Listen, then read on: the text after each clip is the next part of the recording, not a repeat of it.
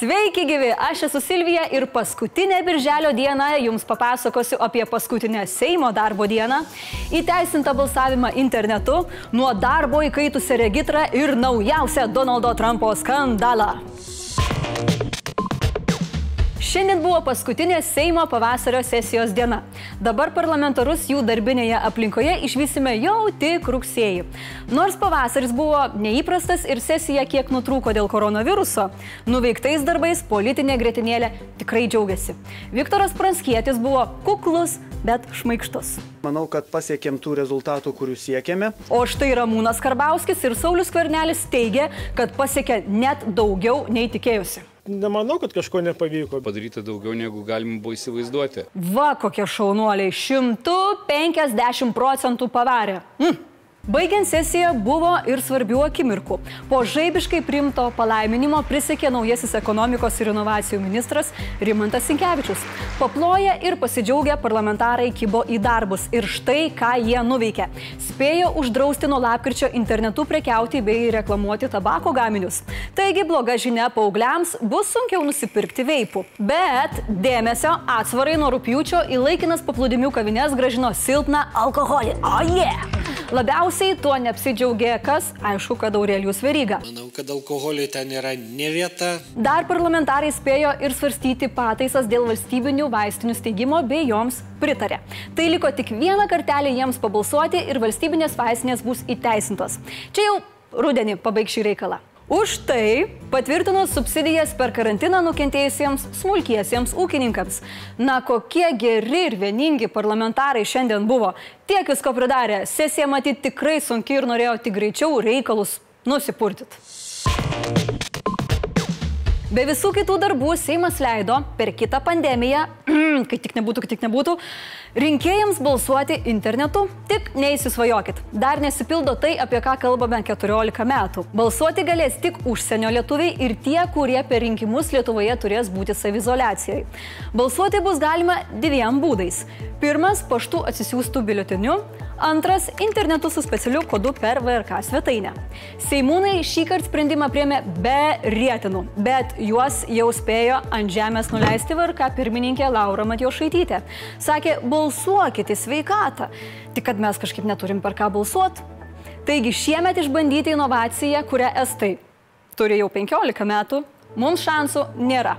Tai reiškia, iki kitos pandemijos ar iki kitos ekstremalios padėties VRK turės pasukti galvą, kaip sukurti ir paleisti balsavimo sistemą, bei sugalvoti, kaip konkrečiai bus užtikrintas balsavimo slaptumas. O šiemet jau numatyta, kad jei ekstremali situacija tęsis, bus prailgintas iš ankstinis balsavimas, daugiau balsavimo vietų ir jam skirtos ne dvi, o keturios dienos. Ir visa tai su vienkartiniam apsaugos priemonėm kainuos beveik 5 milijonus eurų. Tai tikrai nei daug, nei mažai. Jei galvojate, kad jūsų savaitės pradžia buvo sunki, tai pagalvokit dar kartelį. Va, kokios eilės paskutiniam birželio dienom nusidrėkė prie regitros. O štai vaizdas iš regitros svetainės šyrit. Ir visa tai ne dėl to, kad regidra pradėjo dalinti pinigus ar nemokamus automobilius. Žmonės, dar nepriregistravę savo automobilių, suskubo tai padaryti, nes Liepa įsigalioja naujas automobilio taršos mokestis. Dėl jo už pirmą kartą Lietuvoje registruojamas mašinas arba besikeičiant jau važinėtų mašinų savininkams teks mokėti papildomai. Taršiausi automobilių vairuotojai gali pakloti net iki 500 eurų. Tačiau manoma, jog sumos dažniausiai varijuos tarp pusantro ir 200 eurų eurų. Regitra skaičiuoja, kad mokestį gali tekti mokėti beveik kas antram vairuotojui. Dažniausiai mašinos dokumentuose nurodytas išmetamo CO2 kiekis. Tačiau ar toks sprendimas įvesti papildomą mokestį išeis į naudą? Abejojama. Specialistai prognozuoja, kad sumažės norinčių pirkti taršiausias mašinas ir tokias turintis važinės tol, kol jos nesustos.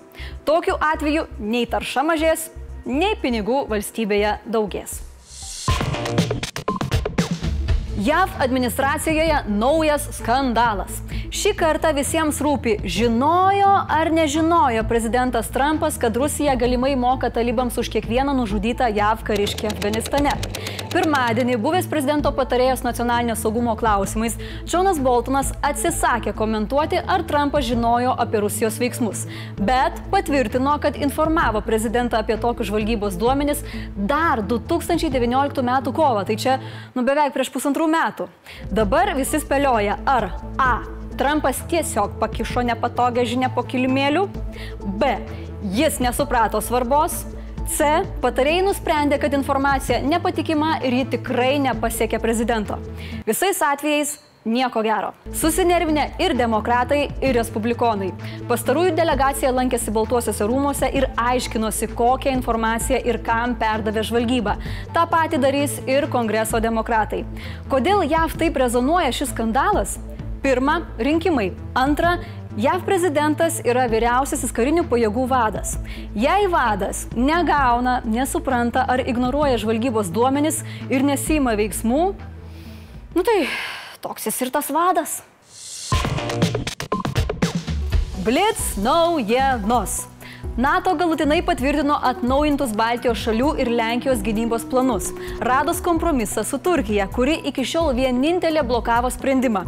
Kaip pavyko susitarti su turkais, mūsų užsienio reikalų ministras nedetalizavo. Apie Lukiškių aikštėje įsikūrusi pležą prakalbo ir epidemiologai. Anot jų, smėlis, kuriame nuolat žaidžia vaikai, kelia epidemiologinę riziką.